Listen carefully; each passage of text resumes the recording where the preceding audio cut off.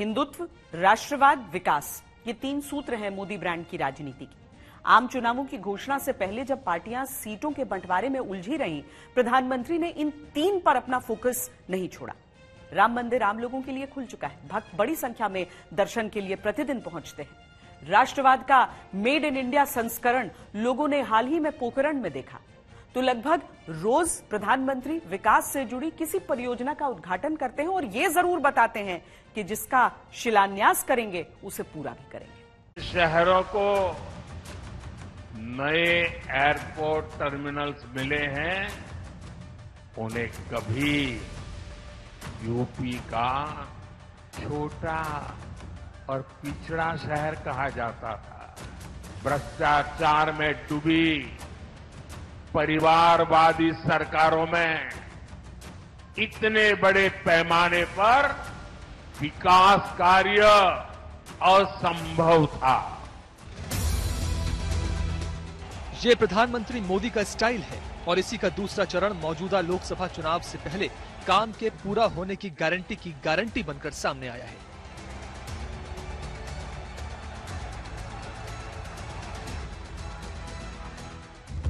चुनाव से पहले इंडिया गठबंधन बना, बिखरा, सीटों पर बात बनी, नहीं बनी, ये सब चलता रहा। लेकिन दूसरी तरफ़, प्रधानमंत्री मोदी चुनाव अभियान के सारे मोर्चे मज़बूत करते रहे। अयोध्या में मंदिर, एक के बाद एक राज्यों में रैलियाँ, शिलान्यास, उद्घाटन और राष्ट्र स्वाभिमान से जुड़े पोखरण में सैन्य अभ्यास ये सब राष्ट्रवाद का नया संदेश दे गया। अब चुनावों की तारीखें आ चुकी हैं। बीजेपी ने अपना मैनिफेस्टो अभी जारी नहीं किया है, लेकिन प्रधानमंत्री मोदी अगले पाँच साल के काम का ब्लूप्रिंट लेकर जनता के बीच लगातार पहुँच रहे हैं। प्रधानमंत्री मोदी जनता के सामने आने वाले कार्यकाल की एक झांकी भी रख रहे हैं। हमारी सरकार के तीसरे कार्यकाल में देश और भी बड़े निर्णय लेगा। ये प्रधानमंत्री मोदी का जीत को लेकर आत्मविश्वास ही है कि उन्होंने चुनावों की घोषणा के अगले दिन ही कैबिनेट बैठक में मंत्रियों से अगले सौ दिनों की कार्य योजना बनाने और अगले पाँच वर्ष के लिए कामकाज का रोड मैप तैयार करने को कहा है। विपक्ष के सामने भी चुनौतियाँ कई हैं, जिसमें सबसे बड़ी चुनौती है लीडरशिप में ब्रांड मोदी जैसी किसी विश्वसनीय चेहरे की दूसरे किसी ऐसे कॉमन विजन की जिसे जनता के सामने रखा जाए। हालाँकि कांग्रेस ने जनता के सामने आरक्षण, जाति जनगणना, किसान, नौजवानों को लेकर एक गारंटी पत्र जारी किया है। पैंतीस हज़ार करोड़ रुपए सोलह कंपनियों को जाता है। उसमें आपको एक दलित नहीं मिलेगा, एक पिछड़ा नहीं मिलेगा, एक गरीब नहीं मिलेगा। राजा की आत्मा ईवीएम में है। सही है। सही है।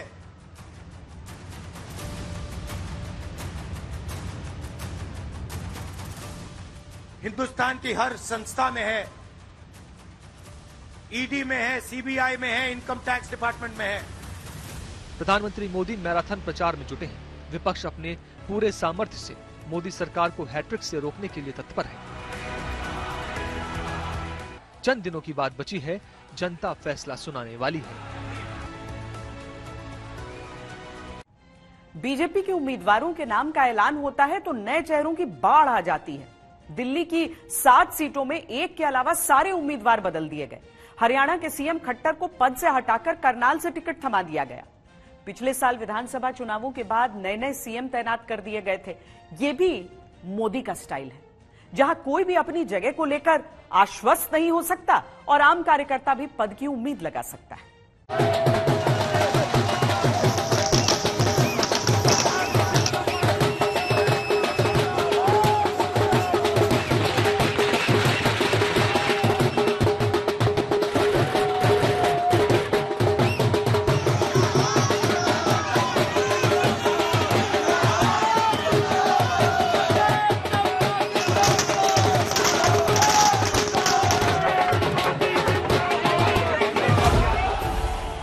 हर किसी को मौका, फिर चाहे वो जिला प्रभारी हो या फिर बूथ लेवल का कार्यकर्ता। ये वो सियासत है जिसके ज़रिए प्रधानमंत्री नरेंद्र मोदी अपने उन विरोधियों को परास करना चाहते हैं, जिन पर बीजेपी वंशवाद का आरोप लगाती है। गांधी परिवार, बिहार में लालू परिवार, यूपी में मुलायम सिंह यादव का परिवार, महाराष्ट्र में शरद पवार और उद्धव ठाकरे का परिवार। बीजेपी का आरोप है कि इन पार्टियों ने सत्ता में बने रहने के लिए परिवारवाद को बढ़ावा दिया।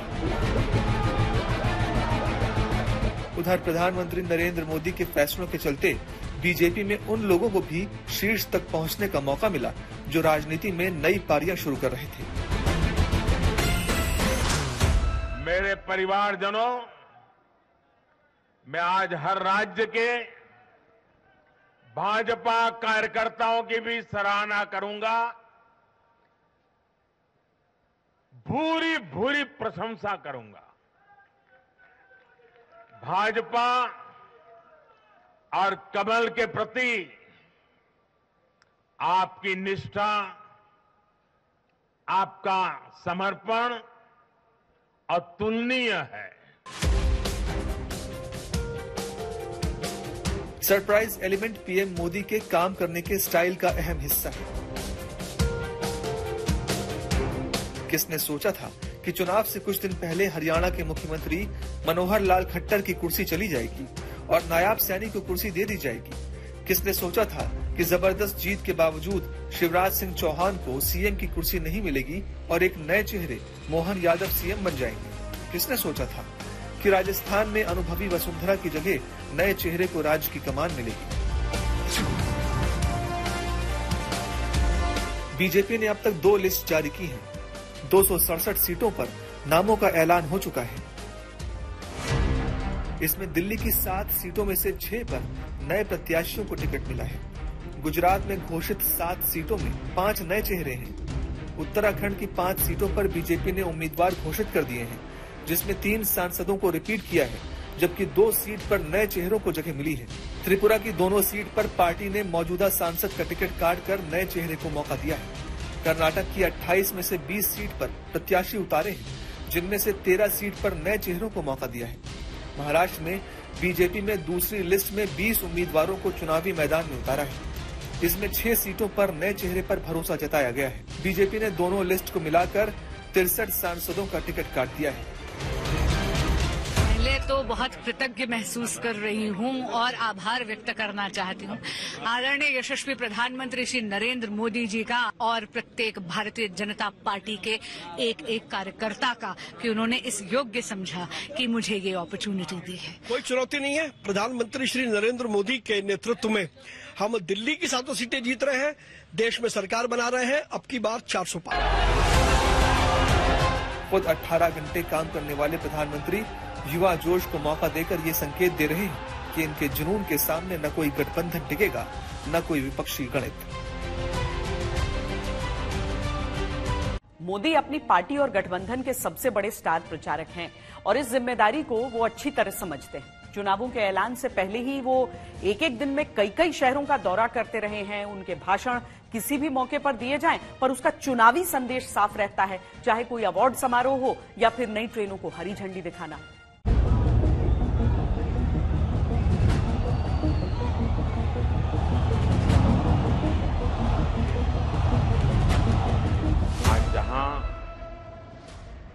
पूरी दुनिया अनिश्चितता के भंवर में फंसी हुई है। एक भाव बहुत निश्चित है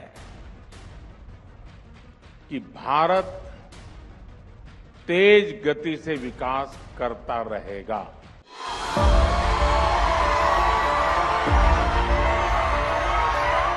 संघर्ष की आग में तप कर आत्मविश्वास की उस बुलंदी पर आज प्रधानमंत्री नरेंद्र मोदी खड़े हैं, जहाँ उनके कदमों को जीत चूमती हुई नज़र आती है।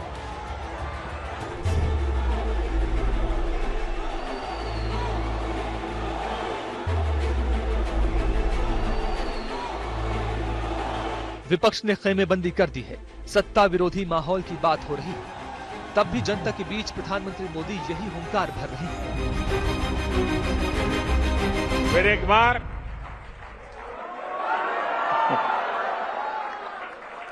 आएगा तो। देखिए, आपका ऑडियंस की आवाज़ है। ये मूड ऑफ़ द नेशन है।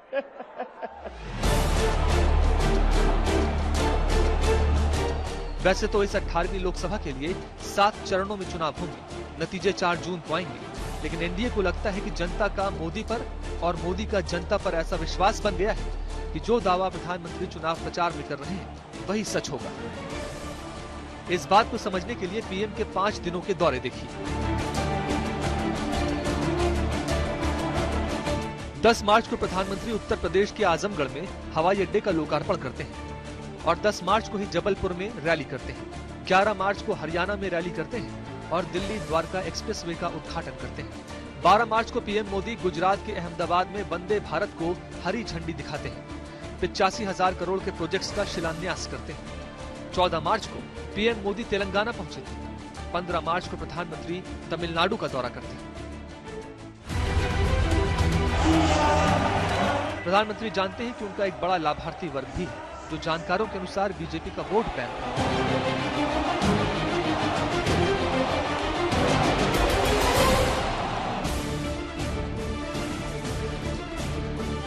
अब तक देश के पहले प्रधानमंत्री जवाहरलाल नेहरू ही हैं, जो लगातार तीन चुनाव जीतने और अपने दम पर बहुमत वाली सरकार बनाने में कामयाब रहे हैं।